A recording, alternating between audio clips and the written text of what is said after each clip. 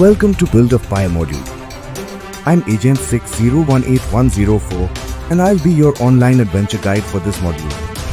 For this training topic, we will introduce basics of how to build a fire.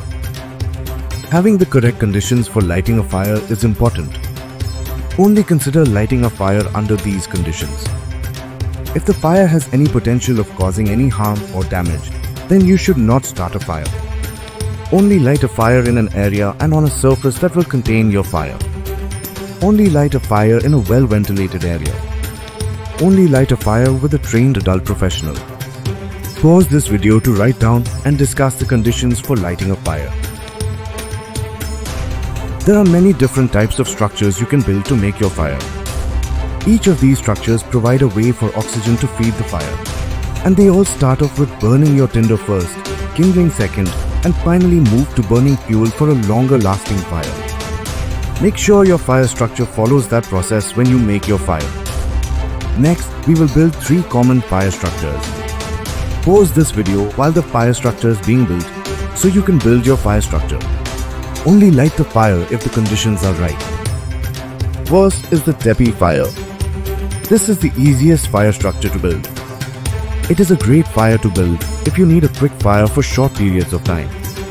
Follow these directions to build a teepee fire structure. Make a big pile of tinder that will be used to start the fire. Put your kindling on top of the tinder.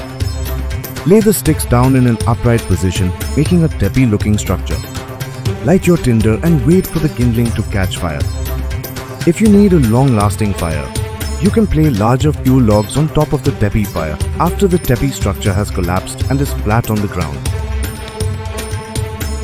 Log cabin. The log cabin fire is a low maintenance fire that will last a long time. It is a great fire to build if you need a fire that will last longer periods of time while you cook. Follow these directions to build a log cabin structure. Make a big pile of tinder that will be used to start the fire. Put your kindling on the sides of the tinder. Start with two sticks on opposite sides of the tinder pile.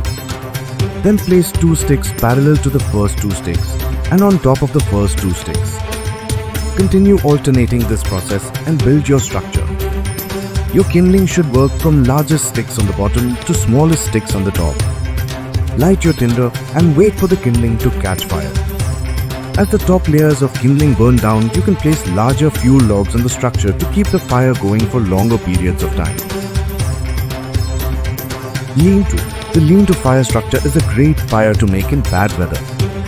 The large fuel log will help to shelter the tinder and kindling from bad weather. Follow these directions to build a lean-to structure. Place a large log on the ground. You can even dig a small hole next to the log if the weather is very bad.